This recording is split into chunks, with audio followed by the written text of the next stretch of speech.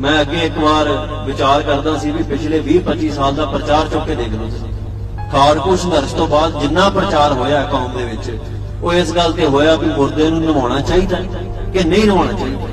ਮੁਰਦੇ ਨੂੰ ਪੁੱਠਾ ਸਿੱਧਾ ਕਰਨਾ ਚਾਹੀਦਾ ਕਿ ਨਹੀਂ ਕਰਨਾ ਚਾਹੀਦਾ? ਜੋਤ ਜਗਾਉਣੀ ਚਾਹੀਦੀ ਹੈ ਕਿ ਨਹੀਂ ਜਗਾਉਣੀ ਚਾਹੀਦੀ? ਨਾਰੀਅਲ ਸਤਿਗੁਰ ਸੱਚੇ ਪਾਤਸ਼ਾਹ ਨੂੰ ਭੇਟ ਕਰਨਾ ਚਾਹੀਦਾ ਕਿ ਨਹੀਂ ਕਰਨਾ ਚਾਹੀਦਾ? ਇਹ ਸਾਰੀ ਚੀਜ਼ ਤੇ ਪ੍ਰਚਾਰ ਹੋਇਆ। ਇਸ ਨਾਲ ਕੌਮ ਦਾ ਕੋਈ ਲਾਭ ਹੋਇਆ? ਕੋਈ 1% ਲਾਭ ਮੈਨੂੰ ਦੱਸ ਦਿਓ। ਜਿੱਥੇ ਸਾਡੇ ਨੌਜਵਾਨਾਂ ਦੇ ਝੂਠੇ ਮੁਕਾਬਲੇ ਬਣ ਰਹੇ ਨੇ ਜਿੱਥੇ ਸਾਡੇ ਨੌਜਵਾਨ ਕੋਹ ਕੋਹ ਕੇ ਮਾਰੇ ਜਾ ਰਹੇ ਹੋਣ, ਜਿੱਥੇ ਥਾਣਿਆਂ ਦੇ ਵਿੱਚ ਸਾਡੀਆਂ ਧੀਆਂ ਭੈਣਾਂ ਦੀ ਬੇਪਤੀ ਹੋ ਰਹੀ ਹੋਵੇ, ਜਿੱਥੇ ਰੋਜ਼, ਹਰ ਰੋਜ਼ ਸੈਂਕੜੇ ਨੌਜਵਾਨ ਨਸ਼ੇ ਦੀ ਭੇਟ ਚੜ ਰਹੇ ਉੱਥੇ ਇਹ ਪ੍ਰਚਾਰ ਹੋਣਾ ਚਾਹੀਦਾ ਕਿ ਭਾਈ ਨਾਰੀਅਤ ਰੱਖਣਾ ਕਿ ਨਹੀਂ ਰੱਖਣਾ, ਜੋਤ ਜਗਾਉਣੀ ਕਿ ਨਹੀਂ ਜਗਾਉਣੀ, ਕਿਹੜੀਆਂ ਬਾਣੀਆਂ ਨੂੰ ਮੰਨਣਾ, ਕਿਹੜੀਆਂ ਨੂੰ ਨਹੀਂ ਮੰਨਣਾ, ਇਹ ਕਿਉਂ ਕੀਤਾ ਗਿਆ? ਕਿਉਂਕਿ ਜਿਹੜਾ ਮਨੋਵਿਗਿਆਨ ਹੈ, ਉਹ ਕਹਿੰਦਾ ਵੀ ਜਦੋਂ ਕੌਮਾਂ ਗੁਲਾਮ ਹੋ ਜਾਣ, ਉਹ ਆਜ਼ਾਦੀ ਵੱਲ ਨਾ ਤੁਰ ਸਕਣ, ਉਹਦਾ ਸੌਖਾ ਤਰੀਕਾ ਉਹਨਾਂ ਨੂੰ ਰੋਕਣ ਦਾ, ਉਹਨਾਂ ਦੇ ਵਿੱਚ ਆਪਸੀ ਮੁੱਦੇ ਚੁੱਕ ਦੇ ਉਹਨਾਂ 'ਚ ਮਾਸ ਖਾਣ ਦਾ ਮੁੱਦਾ ਲੈ ਗਿਆ ਮਾਸ ਖਾਣ ਦੇ ਉੱਤੇ, ਨਾ ਖਾਣ ਦੇ ਉੱਤੇ ਵਿਵਾਦ ਪੈਦਾ ਕਰ ਵੀ ਖਾਣਾ ਚਾਹੀਦਾ ਕਿ ਨਹੀਂ ਖਾਣਾ ਚਾਹੀਦਾ, ਇੱਥੇ ਬਹਿਸਾਂ ਕਰੋ। ਕਿਹੜੀ ਬਾਣੀ ਪੜ੍ਹਨੀ ਚਾਹੀਦੀ ਹੈ? ਮੂਲ ਮੰਤਰ ਕਿੱਥੋਂ ਤੱਕ ਪੜ੍ਹਨਾ ਚਾਹੀਦਾ? ਤੁਸੀਂ ਮੈਨੂੰ ਦੱਸੋ, ਜੇ ਮੂਲ ਮੰਤਰ ਹੋਸੀ ਵੀ ਸੱਚ ਤੱਕ ਪੜਿਆ ਜਾਂਦਾ ਤੇ ਕੀ ਤਕਲੀਫ ਹੈ ਕਿਸੇ ਨੂੰ ਕੋਈ ਤਕਲੀਫ ਨਹੀਂ। ਪਰ ਉਹਨਾਂ ਨੇ ਕੌਮ 'ਚ ਵਿਵਾਦ ਖੜਾ ਕਰਨਾ ਅਰਦਾਸ ਦੇ ਵਿੱਚ ਇਸ ਗੱਲ ਨੂੰ ਬਦਲਣਾ ਜੀ ਪ੍ਰਥਮ ਭਗਉਤੀ ਸਿਮਰ ਕੇ ਭਗਉਤੀ ਅਖੇ ਜੀ ਦੇਵਤੀ ਹੈ ਕੋਈ ਦੇਵੀ ਹੈ ਭਗਉਤੀ? ਭਗਉਤੀ ਭਗਵੰਤ ਕੀ? ਭਗਉਤੀ ਜਿਹੜੀ ਆ ਕਿਰਪਾਨ ਨੂੰ ਕਿਹਾ ਗਿਆ, ਪਰਮਾਤਮਾ ਦੀ ਜੋਤ ਨੂੰ ਕਿਹਾ ਗਿਆ। ਤੇ ਇੱਥੇ ਦੀ ਕੋਈ ਦੇਵੀ ਆ ਗਈ ਹੈ ਭਗਉਤੀ? ਉਹਨੂੰ ਕੱਢਣਾ ਹੈ ਅਰਦਾਸ 'ਚ। ਇਸ ਗੱਲ ਤੇ ਕਿੰਨੇ ਵਿਵਾਦ ਹੋਏ ਸੋ ਇਹਨਾਂ ਵਿਵਾਦਾਂ ਵਿੱਚੋਂ ਮਿਲਿਆ ਕੀ ਅੱਜ ਆਪਾਂ ਇਸ ਗੱਲ ਉੱਤੇ ਵਿਚਾਰ ਕਰਾਂਗੇ। ਜੇ ਇਹਨਾਂ ਵਿਵਾਦਾਂ ਚੋਂ ਕੋ ਸਾਨੂੰ ਪ੍ਰਾਪਤ ਹੋਇਆ ਕੋਈ ਇੱਕ ਫੀਸਦ, ਕੋਈ ਇੱਕ ਸ਼ੈ ਜਿਹੜੀ ਸਾਨੂੰ ਲੱਗਦਾ ਕਿ ਕੌਮ ਲਈ ਲਾਹੇਵੰਦ ਹੈ, ਤੁਸੀਂ ਮੈਨੂੰ ਦੱਸੋ।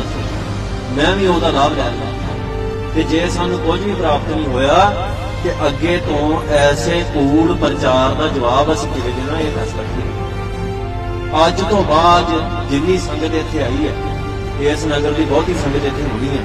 ਇੱਕ ਨਿਸ਼ਚਾ ਕਰੋ, ਪ੍ਰਣ ਕਰੋ ਸਾਡੇ ਸੱਚੇ ਪਾਤਸ਼ਾਹ ਦੇ ਅੱਗੇ ਸਾਨੂੰ ਸਵਾਲ ਕੀਤੇ ਜਾਂਦੇ ਨੇ ਵੀ ਜੇ ਤੁਹਾਡਾ ਰਾਜ ਆ ਗਿਆ ਤੇ ਮੁੱਖ ਮੰਤਰੀ ਕੌਣ ਬਣੂਗਾ? ਪ੍ਰਧਾਨ ਮੰਤਰੀ ਕੌਣ ਬਣੂਗਾ? ਮਤਲਬ ਸਾਨੂੰ ਸਵਾਲ ਕੌਣ ਕਰ ਰਿਹਾ? ਦੁਨੀਆ ਦੇ ਉੱਤੇ ਖਾਲਸੇ ਰਾਜ ਦੀ ਗੱਲ ਚੱਲੀ 5000 ਵਿਦਵਾਨ ਇਕੱਠਾ ਹੋਇਆ 5000 ਵਿਦਵਾਨ ਇਕੱਠੇ ਹੋ ਕੇ ਉਹਨਾਂ ਦੁਨੀਆ ਦੇ ਸਾਰੇ ਰਾਜ ਭਾਗਾਂ ਨੂੰ ਵੇਖਿਆ, ਪਰਖਿਆ, ਉਹਨਾਂ ਬਾਰੇ ਪੜ੍ਹਿਆ ਇਤਿਹਾਸ ਬਾਰੇ ਤੇ ਅਖੀਰ ਉਹ ਇੱਕ ਨਤੀਜੇ ਤੇ ਪਹੁੰਚੇ ਵੀ ਦੁਨੀਆ ਦੇ ਵਿੱਚ ਸਭ ਤੋਂ ਸੋਹਣਾ ਰਾਜ ਜੇ ਕੋ ਹੋਇਆ ਤੇ ਮਹਾਰਾਜ ਰਣਜੀਤ ਸਿੰਘ ਦੀ ਸੇਵਾ ਦੇ ਵਿੱਚ ਖਾਲਸਾ ਰਾਜ। ਇੱਥੇ ਸਾਨੂੰ ਕੀ ਸਵਾਲ ਕੀਤਾ ਜਾਂਦਾ? ਕਿ ਤੁਹਾਡਾ ਮੁੱਖ ਮੰਤਰੀ ਕੌਣ ਬਣੂਗਾ?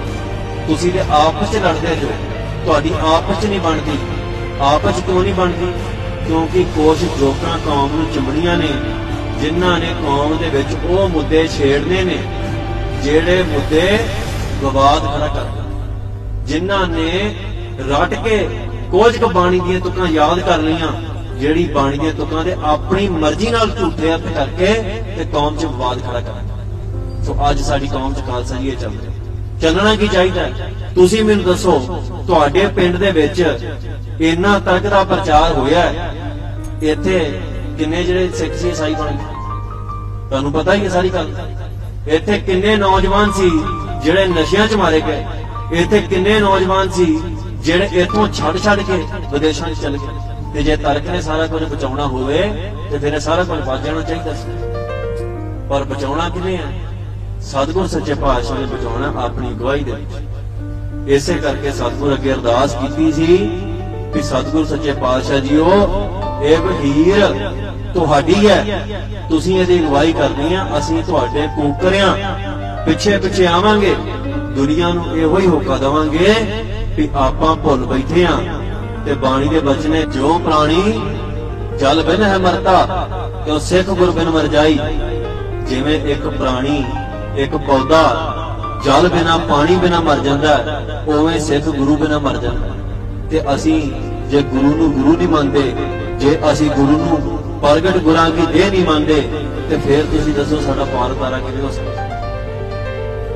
ਅੱਜ ਸਵਾਲ ਸਾਡੇ ਤੇ ਇਹ ਖੜਾ ਹੋ ਗਿਆ ਵੀ ਅਸੀਂ ਆਪਸੀ ਮੁੱਦਿਆਂ ਤੇ ਬਹਿਸ ਵਸਈਆ ਕਰਨਾ ਮੈਂ ਇੱਥੇ ਐਲਾਨ ਕਰਦਾ ਤੁਸੀਂ ਮੂਲ ਮੰਤਰ ਕਿੱਥੋਂ ਤੱਕ ਪੜ੍ਹਦੇ? ਮੇਰਾ ਵਾਸਤਾ ਨਹੀਂ ਹੈਗਾ।